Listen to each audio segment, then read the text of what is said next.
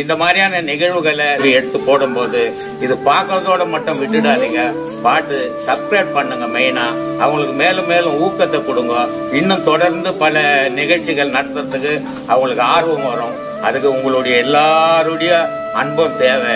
வன்- நன்றி வணக்கம். என்னுடைய பேர் சிதம்பரம். பெங்களூர்ல வந்திருக்கேன் நான். தமிழ்நாட்டில் ராமநாராயண் ஒரு மிகப்பெரிய இயக்குனர் இருந்தார். அவருடைய நெருங்கிய நண்பர் நான். அவர் ஒரு நூற்றி பத்து படம் தயாரிச்சிருக்காரு. இயக்கியம் இயக்கியும் இருக்கிறாரு. அது ஒரு பெரிய கம்பெனி தினந்தோறும் ஒரு நூறு பேர் சாப்பிடக்கூடிய இடம் அது. அவரோட பயணித்து நாற்பது நாற்பத்தஞ்சு ஆண்டுகளாக அவரோட இருந்து இணைந்து நான் பணியாற்றியிருந்தேன். அதுக்கப்புறம் கர்நாடக மாநிலத்துக்கு வந்து கன்னட படம் எடுக்கிறப்போ இணை இணை இயக்குனராக என்ன சேர்த்துக்கின்னு பல படங்களை நம்மலாம் நல்லா தயாரித்து எல்லாம் பண்ணோம். அவர் தவறிட்டார் காலமாயிட்டார். அதுக்கிடையில் வந்து அவருடைய மகன் வந்து மிகப்பெரிய அகலக்கால வைத்து ரெண்டு படம் தயாரித்தார். ஒரு படம் வந்து நூற்றி முப்பது கோடின்ற அர்த்தம். மெர்சல் சர்க்கார் ரெண்டு படம் பண்ணார். அந்த ரெண்டு படத்துலேயும் அவர் கொஞ்சம் இழந்துட்டார் பணத்தை இழந்துட்டார். அவங்க அப்பா வந்து சிறுக கட்டி பெருக வாழ்ந்தார் அவர். தினந்தோறும் நூறு பேருக்கு சாப்பாடு போடணும் நாலு பேருக்கு நல்லது பண்ணணும் தான் பண்ணார் அவர். ஆனால் அந்த பையன் வந்து யாருடைய பேச்சை கேட்டுக்குன்னு தெரியாத காலை இறங்கிட்டு ரெண்டு படத்துலையும் இன்னைக்கு நொந்து கிடக்கிறார் பாவம். அவர் கொஞ்சம் மேலே வளர்ச்சி அடைஞ்சாக்கா எல்லாருக்கும் தினந்தோறும் நூறு பேர் சாப்பாடு போடுவாங்க. நாங்களாம் கூட நல்லா இருப்போம். அவரால் தான் நான் இணையக்கிறேன் அது இது தயாரிப்பாளரானேன் அதே போல் நம்ம பல்ராம் அவர் அவரும் பல படங்களுக்கு இசையமைச்சிருக்கார் பெங்களூரில். பல பாடல்கள் பக்தி பாடலாம் பண்ணியிருக்கிறாரு. நம்ம நாகா வெங்கடேஷ் அவரும் இயக்குனர். இப்போ வந்து லூப்ரிகேஷன் ஆயில் இன்ஜின் ஆயிலை தயார் பண்ணி கப்பலுக்கு ஹெலிகாப்டருக்கு ஃப்ளைட்டுக்கு லாரிங்களுக்கு காருங்களுக்கு எல்லாத்துக்குமே சப்ளை பண்ணி இன்னைக்கு மிக பிரபலமாக போயிட்டு அவருக்கும். பல்ராம் அவர் எனக்கு சொன்ன உடனே ஐயா சாமியை பார்க்கணும் அப்படின்ட்டு நான் கண்டிப்பாக வரேன் அப்படின்னு சொல்லிட்டு அவரோட இன்னும் வந்திருக்கேன். நாங்கள் ஆன்மீகவாதிங்க தான் நாங்கள்லாம் பல கோயிலை சுற்றுவாங்க இப்போ நேற்று கூட காஞ்சிபுரம் போயிட்டு சாமியெல்லாம் கும்பிட்டு கும்பிட்டுட்டு வந்தோம். அப்படிலாம் இருக்குது. இது இந்த தேனடால் ஃபிலிம்ஸுக்காக வளர்ச்சி அடைன்றதுக்காக ஐயா கிட்ட கோரிக்கை வச்சுட்டு நான் போகிறதுக்கு பக்தி என்றது சாமி நான் யோகம் என்றது. ஞானம் என்பது எப்படி இருக்க வேண்டும்? நம்ம அதை எப்படி அணுகணும்? நம்ம எப்படி அதை வெளிப்படுத்தணும்? அப்படின்னும் போது பார்த்திங்கன்னா சத்தியம் மட்டும்தான் சாமி இருக்கணும் அதில். உலகம் இப்போ சினிமா படம் அதில் உண்மையை சொல்லி பணம் சம் ப- எடுக்க முடியாது. ஆயிரம் ஆயிரம் பொய் சொல்லுவோம் மிகைப்படுத்துவோம் அதை. அதே மாதிரி வெளியே செய்கிற தொழில்கள் எதை ஒன்றாலும் ஆயிரம் பொய் சொல்லி தான் உலக வாழ்வு வாழ்வோம். ஆனால் எங்கே எப்படி இருந்தாலும் தெய்வத்தாண்ட வரும்போது சத்தியம் மட்டும்தான் நிற்கணும் சாமி. அதுதான் நிலையான பொருள் அது. அதனால தான் நான் அடிக்கடி சொல்லுவேன். ஒரு தாய்கிட்ட போனால் தகப்பங்கிட்ட போனால் ஒரு நல்ல பிள்ளையாயிரு கடவுள்கிட்ட போய் நின்னா நல்ல பக்தனாயிரு ஒரு குரு கிட்ட போனால் நல்ல சீடனாயிரு ஒரு மனைவி கிட்ட போனால் நல்ல கணவனாக இருக்க. பழகி நிற்கணும்னா பக்குவம் வந்துடும். இதெல்லாம் வராமல் ஏர்மாறா பண்ணிக்கணும் ஏர்மாறா பேசிக்கணும் பக்குவம் போயிடும் நம்மளை விட்டு. முதல்ல மனிதன் பக்குவம் அடையணும். பக்குவம் அடைஞ்சா வெற்றியும் தோல்வியும் சமமாக நினைக்கிற மனோபாவம் வந்துச்சுன்னு சொன்னாவே அவன் அமைதியான வாழ்க்கை வாழ ஆரம்பிச்சிடுவான். ஆனால் வெற்றி வரும்போது ஆரவாரமாகவும் தோல்வி வரும்போது தோண்டு போகிறதும் அது மனிதனுக்கு இயற்கையாக போச்சு.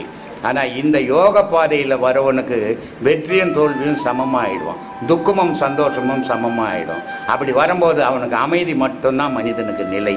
மனுஷன் உலகத்தில் சந்தோஷத்தை அனுபவிக்கிறான் துக்கத்தையும் அனுபவிக்கிறான். அவன் அமைதியை அனுபவிக்க முடியல.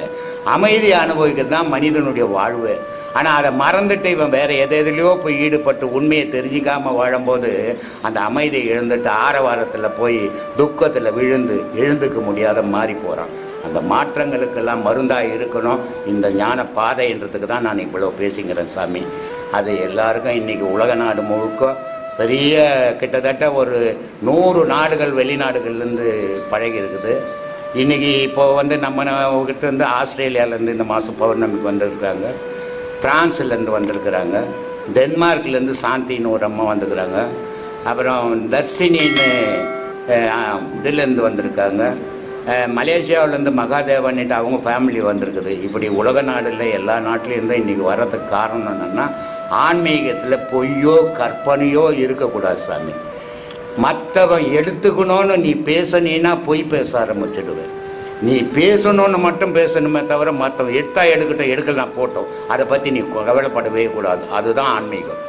எந்த மகானும் மற்றவன் எடுத்துக்கணும்னு பேசவே இல்லை. ஆனால் இன்னைக்கு மகான்ன்ற பேரில் பல பேர் போலி வேஷமாக போட்டு மிகைப்படுத்தி பேசி கடவுளை கற்பனைக்கு போய் விட்டுடுறாங்க.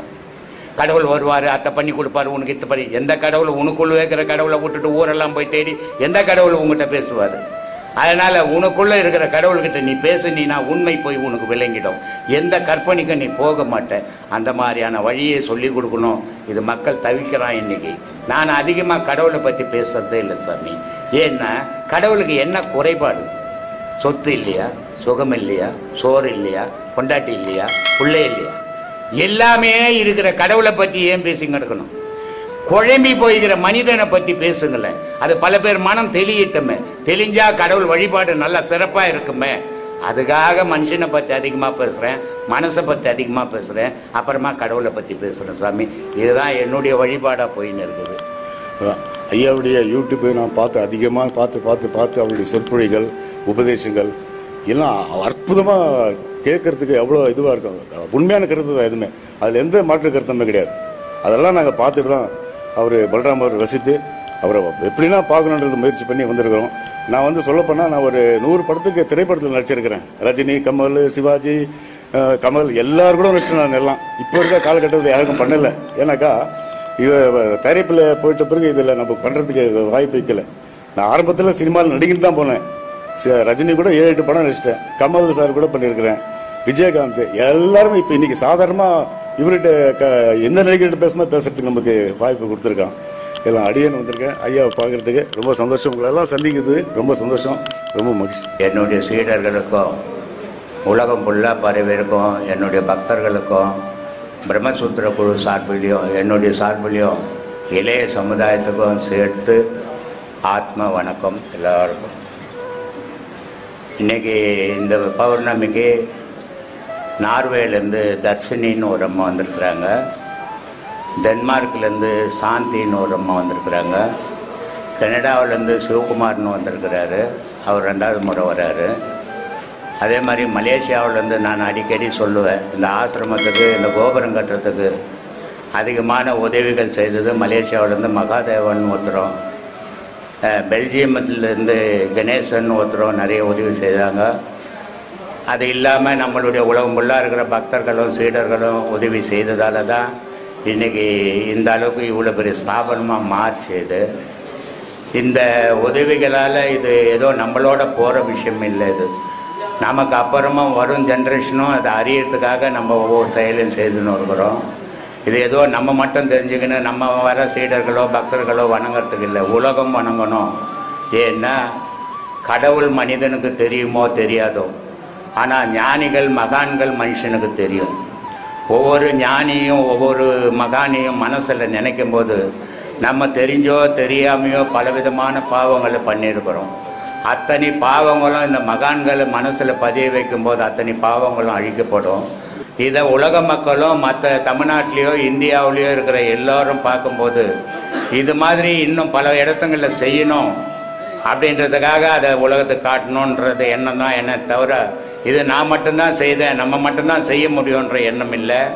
உலகத்தில் எல்லாரும் இந்த மகான்களை என்னமோ அந்தந்த ஆசிரமத்தை சார்ந்தவங்க வரைக்கும் நினைக்கிறாங்க. அது ஒரு தவறான நினைப்பு. ஒரு மனுஷனாக இருந்தால் ஒரு வீட்டுக்கு சொந்தம் மனுஷனாக இருந்தால் ஒரு ஜாதிக்கு சொந்தம் மனுஷனாக இருந்தால் ஒரு நாட்டுக்கு சொந்தம். ஒருத்தன் மகானானவன் உலகத்துக்கு சொந்தம். அந்த உலகத்துக்கு சொந்தமானவங்கள இந்த உலகத்துக்கு காட்டணும் அப்படின்றதுக்காக தான் இத்தனை சிலைகளை வடிச்சிருக்கிறோம். இது இருபத்தாறாம் தேதி கும்பாபிஷேகமும் நடக்குது. இந்த மகான்களை வணங்கி வழிபட்டு ஒவ்வொருத்தரும் மனசுலையும் அந்த மகான்களை நினைக்கும் போது மனுஷன் செய்த பாவ புண்ணியங்கள் அழிக்கப்படும். இறைவனோட கலக்கத்துக்கு அது வழிவகுக்கும். அதனால தான் இந்த செயல்கள்லாம் நம்ம செய்கிறோம் இதை உலகம் அறியணும் தெரிஞ்சுக்கணும். இன்னும் பல இடத்துல இதை மாதிரி செய்யணுன்ற ஆதங்கத்தில் தான் செய்கிறேன் இதை நான் மட்டும்தான் செய்வேன் நான் மட்டும்தான் செய்ய முடியுன்ற எண்ணத்தில் செய்யலை. எல்லாரும் செய்யணும் எல்லாரும் அது மாதிரி வழிபடணும் ஒவ்வொரு இடத்துலையும். மகான்களை மறந்துடக்கூடாது வர ஜென்ரேஷனுக்கு தெரியாமல் போயிடும் எல்லாருமே வந்து இரநூறு வருஷம் முந்நூறு வருஷம் நூறு வருஷத்துக்கு முன்னாடி ஆனவங்க அவங்கள வந்து வர ஜென்ரேஷன் வந்து அவங்கள அடையாளம் தெரியாமல் அவங்கள பார்க்காததுனால அது மறந்து போயிடும். அது மறக்கக்கூடாது. இவங்கெல்லாம் இப்போ கடவுளை பற்றி இவ்வளோ போதனைகள் நமக்கு பண்ணியிருக்கிறாங்க. இவங்கெல்லாம் பண்ண போதனையால் தான் இன்னும் நம்ம இறைவ வழிபாட்டில் இருக்கிறோம் அப்படின்னு மக்கள் உணரணுன்றதுக்காக தான் இந்த செயல்கள்லாம் செய்துன்னு இருக்கேன் இதை வந்து உலகம் அறியணும். எல்லா மக்களும் அதை உணரணும். எல்லோரும் செய்யணும். ஆத்மா வணக்கம். நன்றி.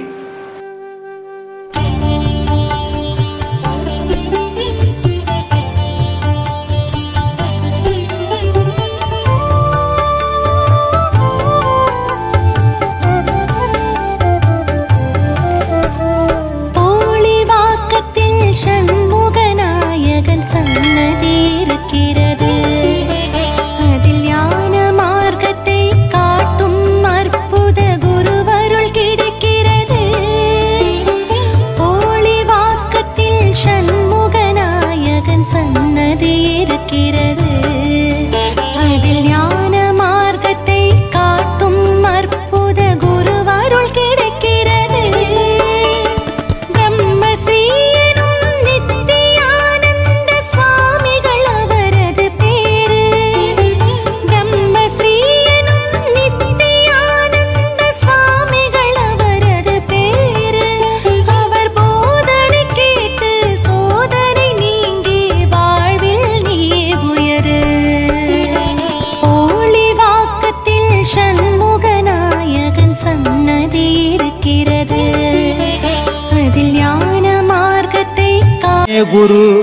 என்றுணர்த்திய குருவே போற்றி. சத்தும் சித்தும் எதுவென்று உணர்த்திய குருவே போற்றி. எனக்குள் இறைவனை உணர வைத்த குருவே போற்றி. நித்திய ஆனந்தமான நித்யானந்த குருவே போற்றி. குரு பிரம்மஸ்ரீ நித்யானந்தரே போற்றி போற்றி.